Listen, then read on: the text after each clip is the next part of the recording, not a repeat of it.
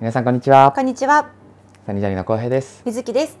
今回ちょっとお知らせの動画を撮らせていただいてるんですけれど、はい。あのもうすぐ僕たちはお休みにちょっと入らせていただくんですけれどその前にちょっとこれはお知らせした方がいいかなと思いまして以前お布施の返金希望という動画を出させていただいたんですけれどそちらの動画でお知らせしてた返金期間が終了したのであのサリファミの皆様がお布施の返金に対応に追われてるんじゃないかと心配してるんではないかと思いましてちょっとお知らせしようかなと思いましてはい。動画を撮っております、まあ、結論から言えばですねお布施の返金希望は1件ありました。はい。その方も僕たちを応援しているし今も応援し続けてくださるということだったんですけれど、まあ、その方のお考えとしてはやっぱり返金を希望するということだったので返金対応させていただこうかなと思っております、はい。まあ、その方に対してはご迷惑をおかけしてしまったなと思って申し訳ないと思っております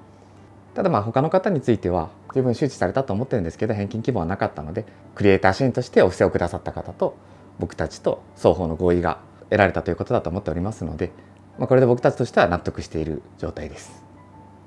はい、この件に関しては人それぞれ価値観があると思うんですけれど僕たちとしては支援してくださった方と僕たちの間で双方の納得がいていればいいのかなと思っております。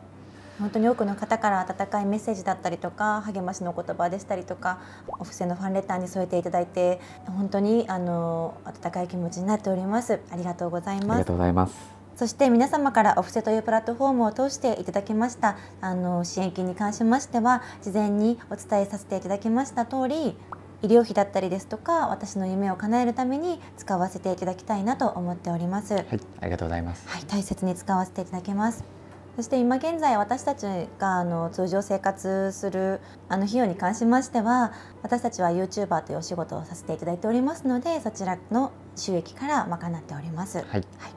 あとたまに浩平くんが無職なのっていうコメントがつくんですけど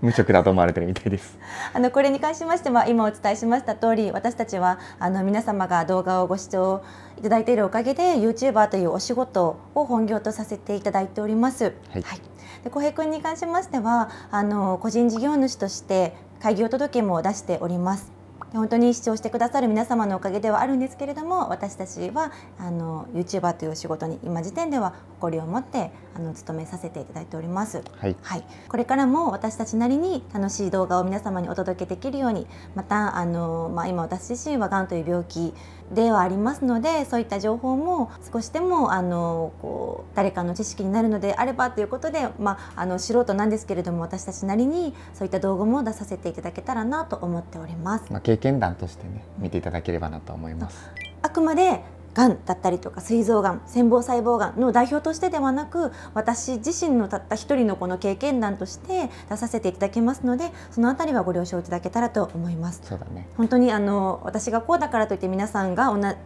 同じ病気の方がそうだというわけではないですし同じ治療を受けてるからといって同じ副作用だったり同じ軽さだったり重さだったりということは本当にないのでこれは実際闘病している方はお分かりいただけると思うんですけれども、まあ、あくまで私個人の体験談として聞いていただけたらなと思っております。ご理解いただけたら幸いです。はい、